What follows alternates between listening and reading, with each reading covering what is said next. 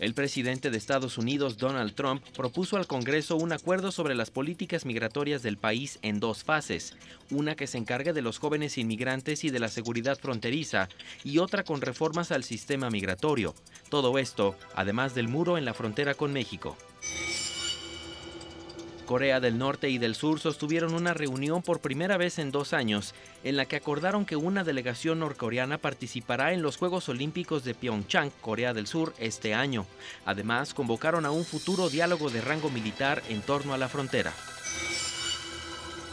El Tribunal Penal de El Cairo, Egipto, sentenció a 262 personas apenas de entre 3 y 25 años de prisión por haber participado en actos violentos durante las protestas de 2013 que dejaron cientos de muertos. Se les acusa de matanzas premeditadas de policías y civiles. Más de 200 personas fueron arrestadas en Italia y Alemania por presuntamente pertenecer a una de las mafias más grandes de la región de Calabria. Se investiga su participación en tráfico y fraude con bebidas alcohólicas y comida, así como en los servicios de recolección de basura y funerarias.